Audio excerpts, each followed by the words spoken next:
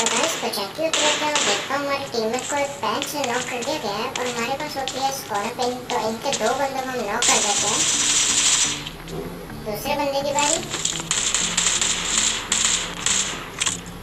और गाइस का दूसरा बंदा भी नॉक हो जाता है, इसको फिनिश करते हैं।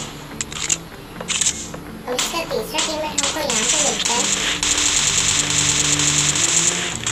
और इसको नॉक करने के बाद इसको भी हम फिनिश देते हैं। भाई चौथा बंदा सामने होता है और देखो हमारे टीममेट को यहाँ पर फिर से नॉक कर दिया गया है। तो, भाई इसी के साथ ये क्लच भी कंप्लीट हो जाता है। और अगर वीडियो अच्छी लगे तो लाइक शेयर और सब्सक्राइब करना। तब तक के लिए गुड बाय